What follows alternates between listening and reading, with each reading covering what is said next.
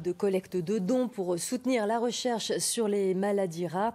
Et vous le savez, comme chaque année, France Télévisions s'est mobilisée et au terme du marathon télévisuel caritatif, le compteur 2021 affiche 73 622 019 euros de promesses de dons. C'est en nette hausse par rapport à l'an passé.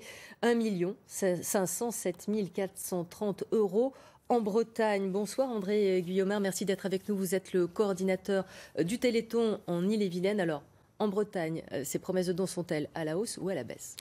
Bonsoir et merci de me recevoir. En Bretagne, les promesses de dons ne sont pas terminées. Le Téléthon n'est pas terminé, puisque le 36-37 notamment restera ouvert encore pendant toute une semaine et les gens pourront oser. Alors les chiffres que vous avez cités pour la Bretagne sont des chiffres des promesses de dons faites au 36-37 pour le reste, nous ne pouvons pas encore donner de chiffres parce que euh, ce dimanche, des choses se sont passées. Il y a encore des manifestations sur le terrain qui se feront dans le courant de la semaine, peut-être un peu la semaine prochaine. Donc les chiffres sont loin des définitifs. Par contre, ce que vous avez annoncé, cette progression en Bretagne, elle est réelle.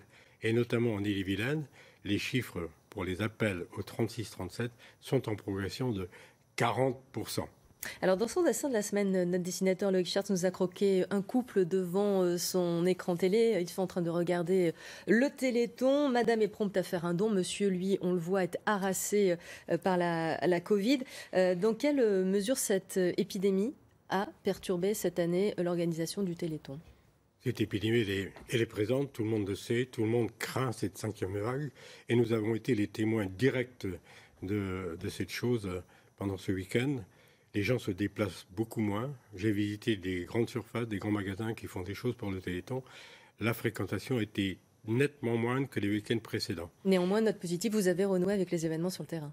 Nous, nous avons renoué avec des événements sur le terrain. Enfin, nous avons pu euh, faire en sorte que les gens se rencontrent. Il y avait cette soif de rencontre. Mais euh, les gens se sont pas tous déplacés. Noyelles-sur-Vilaine, par exemple, où nous avons le vendredi soir l'habitude de voir 2 à 3 000 personnes sur la place pour voir un beau défilé lumineux, il n'y avait que 200 personnes. Beaucoup de repas ont été annulés.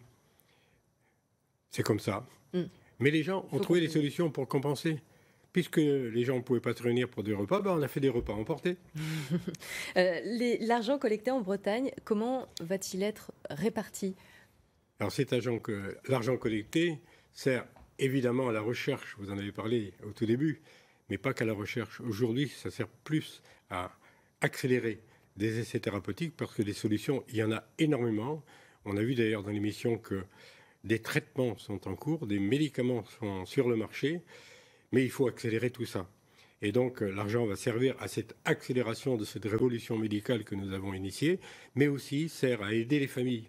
Les familles ont besoin d'être aidées, tout simplement parce que il faut que les enfants restent en vie pour qu'au moment où on aura trouvé une solution pour eux, on puisse les guérir. Merci euh, André Guillaumard d'avoir euh, accepté euh, notre invitation à l'occasion de, de la 35e édition du Téléthon. Merci à vous.